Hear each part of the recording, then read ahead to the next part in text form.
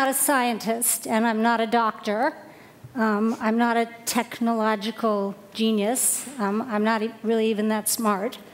I, uh, I'm a 60 year old woman with metastatic breast cancer.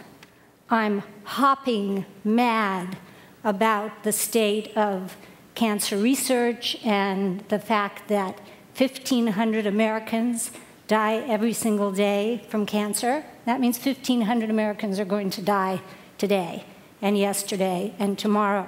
One in two men and one in three women will be diagnosed with cancer in their lifetime. We are not doing a very good job. So I'm a patient, but I'm, and I've been a cancer patient for six years, but I'm an extremely impatient one. Um,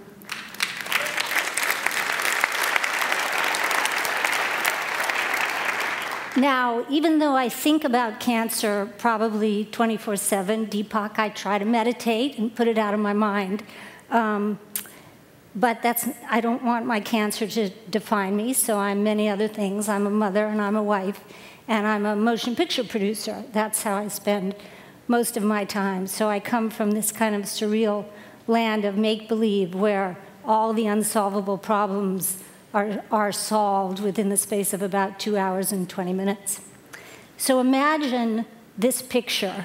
Um, we're in an operating room, and there's a very, Keith Black is probably operating, and it's a very intense brain surgery. And there are two lead surgeons, and they've opened up the patient, and they're about to go in for this glioblastoma, and it's so tense, the nurses are mopping their brows, and they've even turned off the music. And the two doctors look at each other and they're just about to go for that tumor. And one doctor turns to the other and said, Look at it this way, George. It's not like we're making a movie. so I'm going to talk for a minute about how making a movie is like curing cancer. Um, most movie projects in Hollywood begin over a meal. And about two years ago, Katie Couric and Lisa Paulsen, who runs the Entertainment Industry Foundation, were having breakfast with Jeff Zucker, who runs NBC. And Jeff Zucker, as many of you know, is a two time cancer survivor. And they posed the idea of doing a television show to raise awareness and to raise money um, about cancer.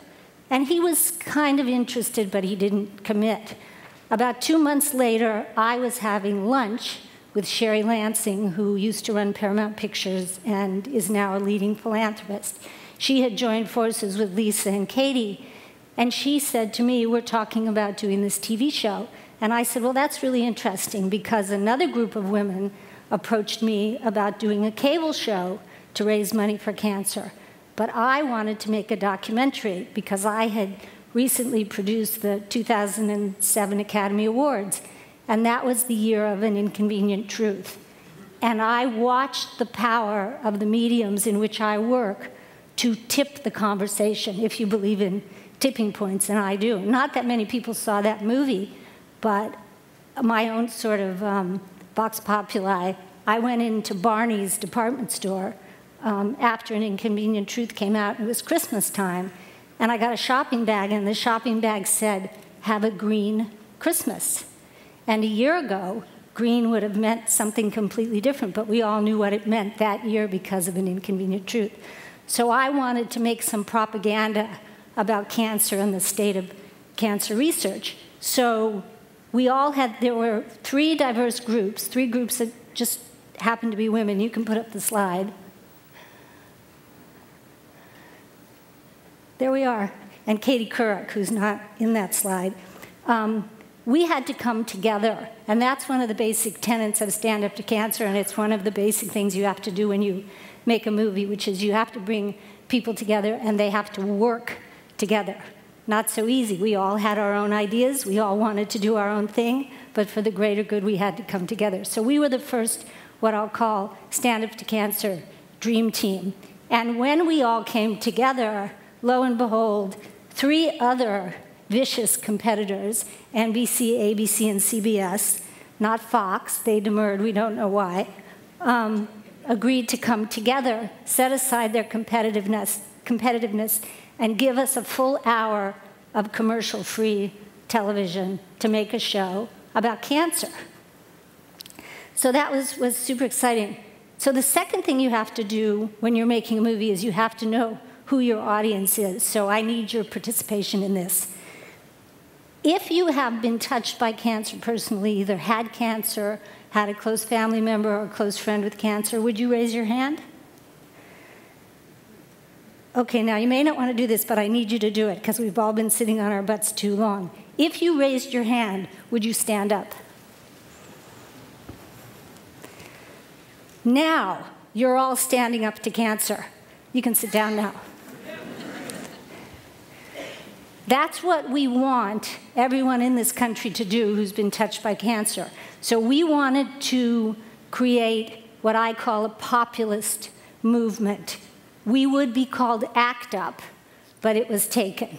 So, because we looked at what people with HIV AIDS did and how they impacted the way their disease was treated.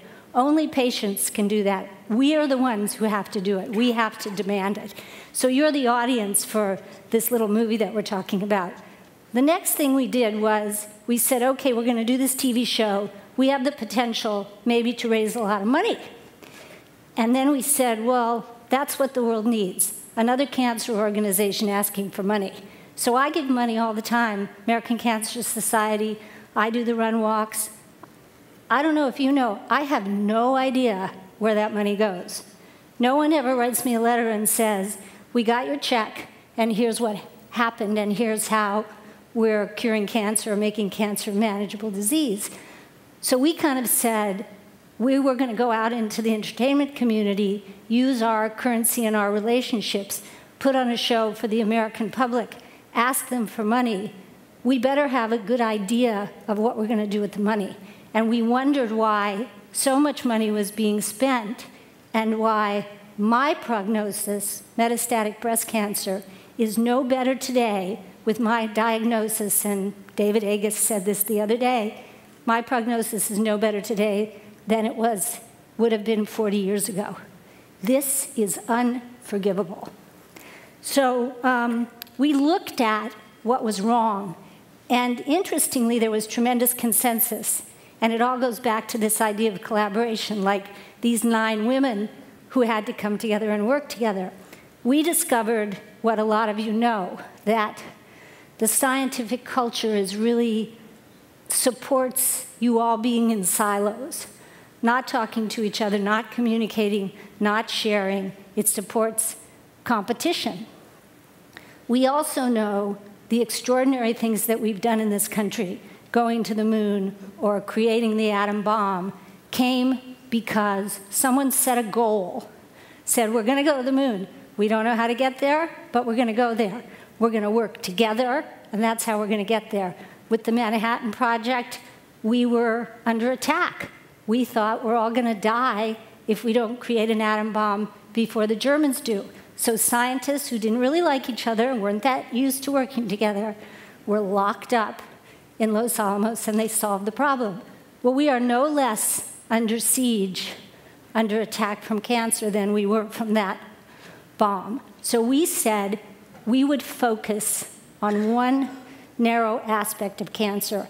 And those of you who know anything about cancer, it's an extraordinarily complex problem. I like to say it's like education. It's so multifaceted. So when you look at the problem and you think there's issues of access, there's issues of treatment, there's issues of how do you of integrative medicine versus allopathic, there's issues of money.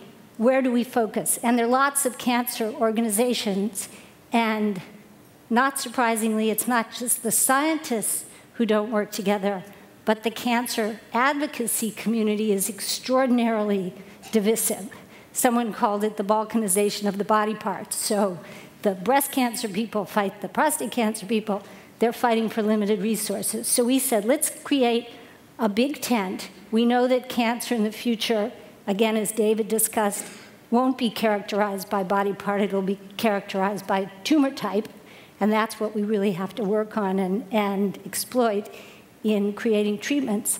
Let's focus on making scientists work together collaboration in order to accelerate treatments. So we partnered with the American Association of Cancer Research. We needed an umbrella organization, and we told them what we wanted to do. We said we want to put together dream teams of scientists across institutions and across disciplines to be focused on very specific, sort of low hanging fruit. So, as you know, we know a lot about cancer. When war was declared on cancer by Richard Nixon almost 50 years ago, we didn't know a lot, but we had resources. Now we know a lot. In that 50 years, it's not like nothing's happened. A tremendous amount of information has been accumulated. But as a patient, I say, okay, enough with the looking at the cells under the microscope. What are you going to do for me? How are you going to take what you know and translate it into new therapies, more effective therapies? We know that if you're diagnosed early, you have a chance of curing your cancer. But we also know those 1,500 people who are going to die today, they obviously didn't get diagnosed early. So we need better treatments. So we put together this blue ribbon committee headed by Phillip Sharp, and someone mentioned Elizabeth Blackburn, who just won the Nobel Prize, and Brian Druker, who is the pioneer of Gleevec, which is a targeted pill that treats CML, and that's what we want for all cancers. We put together this committee, we put out a call for proposals. We got 247 proposals. I forgot the most important part. On September 8th, we put on a show. We enlisted the entire entertainment um, community, over 100 celebrities came out and participated because they, like all of you, were touched by this disease. And I called everyone I know, and David Fincher made that PSA, and Errol Morris did work for us, and everybody came, and um, even Homer Simpson. I'll show you. You can roll that.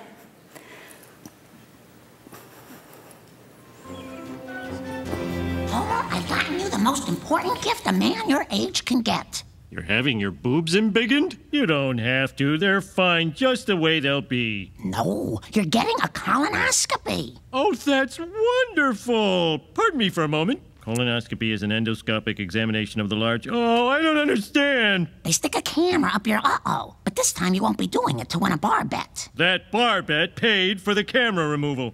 Welcome to the Mayo Clinic. Mm, Mayo. I'm glad you're here, Homer. Early detection can lead to complete removal of tumorous polyps and. Are we going to talk or make a movie? Now, Homer, breathe into this mask. He's asleep. I almost feel guilty about charging for the anesthesia. almost. Will he be all right, Doctor? Listen, don't worry. I've done hundreds of these, and good Lord. This ass is why I became a doctor. This is my Sistine Chapel. This is my Moby Dick. This is my Sergeant Peppers. How did that get in there? There's his wedding band. He told me he was getting it polished. According to this, he has three active polyps. Now comes the fun part. You cut them out? Oh, we don't use that term. We prefer rip. I feel great. Once there was a mountain, now there's a breeze. Hallelujah. Let's take this new colon out for a spin to Krusty Burger. Oh, uh, Mr. Simpson, the camera's still inside you. I'll return it after Lisa's recital. Hallelujah. Not a dramatization. This is footage of an actual colonoscopy.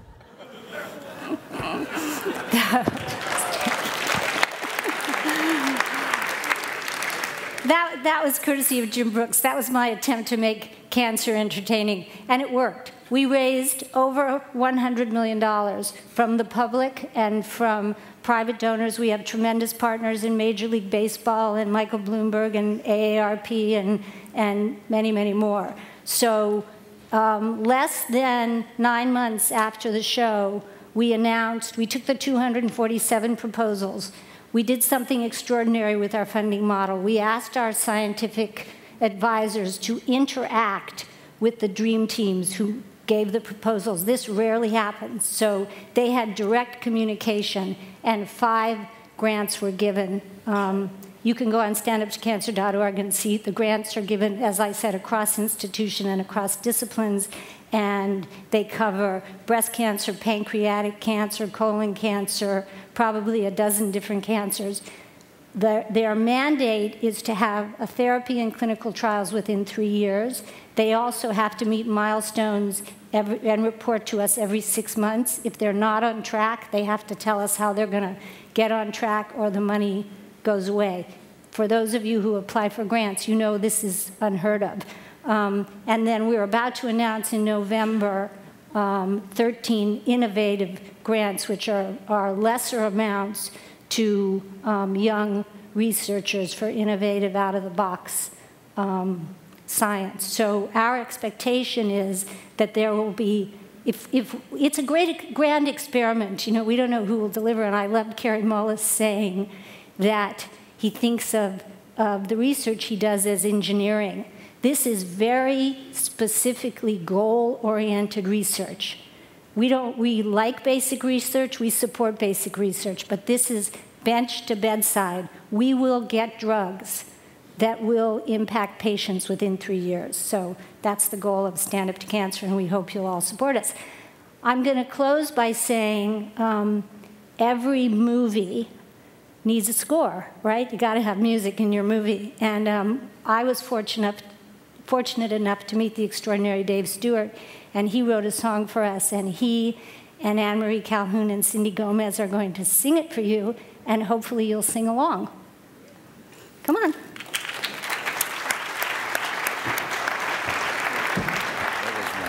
You. It's almost a year since we sat next to each Yeah, other. that's right. And I'm going to shoot you with my stand up to cancer flip cam. Yeah. Yeah, it's an absolute honor to work with Laura and uh, be able to do anything possible to help. Music is um, something that often can transcend, um, you know, words and and I think when you hear this song, we've recorded it in many ways. The other night we recorded it with Hans Zimmer and a full orchestra. Lots of people will be recording it in their own languages around the world, and uh, and it goes something like this. Play it.